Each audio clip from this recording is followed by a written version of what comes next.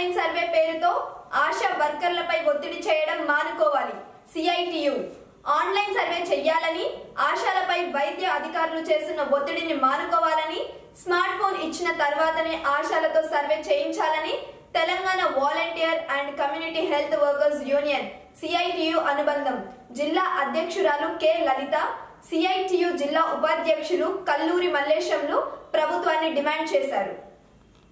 మంగళవారం రోజు భువనగిరి మండలం బొల్లేపల్లి పిహెచ్సిలో ఆశా వర్కర్ల ధర్నా నిర్వహించి అధికారులకు వినతి పత్రం ఇవ్వడం జరిగింది.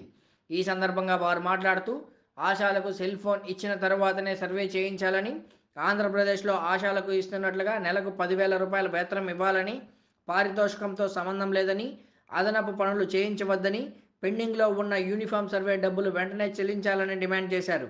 కేంద్ర ప్రభుత్వం ప్రకటించిన యాభై లక్షల ప్రమాద బీమాను ఆశాలకు వర్తింపజేయాలని డిమాండ్ చేశారు.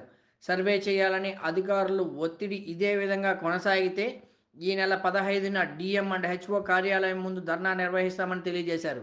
ఈ కార్యక్రమంలో సుజాత అలివేలు పుష్ప కల్పన లక్ష్మి సంతోష్ నాగలక్ష్మి సుజాత పావని సంధ్యారాణి ప్రసన్న జ్యోతి తదితరులు పాల్గొన్నారు.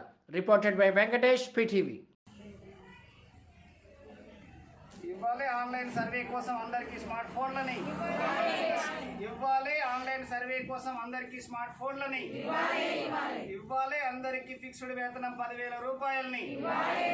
ఇవ్వాలి ఆశాలందరికి ఫిక్స్డ్ వేతనం పదివేల రూపాయలని. ఇవ్వాలి పెండింగ్ సర్వేల బకాయిలని. ఇవ్వాలి పెండింగ్ సర్వేల బకాయిలని.